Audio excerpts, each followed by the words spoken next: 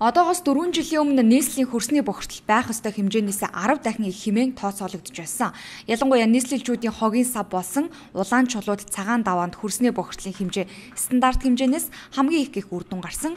Хөнгөн болон цахилгаан эрчим хүчний үйлдвэрлэл, уурын зух, галгаат зух, автомашины утаа, хог хаягдал гээд бүх их усүр бүрдсэн нь хөрсний бохирдлыг инхүү аюултай хэмжээнд хүргэх гол хүчин зүйл хэмээн үздэг.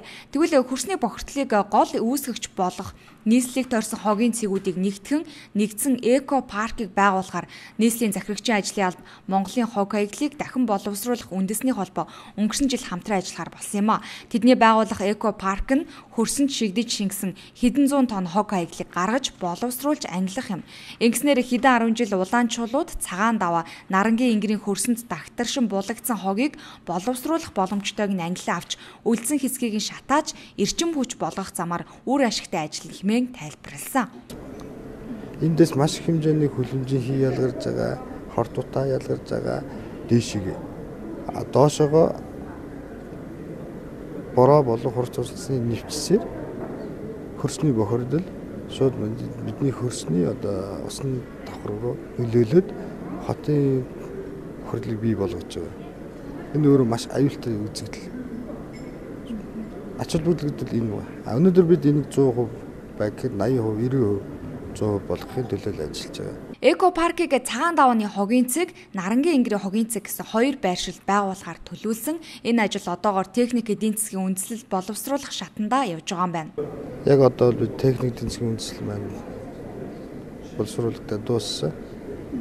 Тэгээ тех боловсруулсан техник эдийн засгийн үндэслэл дээр үндэслээд а ерөнхийдөлгөөний зураг төсөл хийгдээд 70 80% таа бол болоо явж байна. Энэ хоёр маань батлаг эрэг хотоор орж батлагдах учиртай.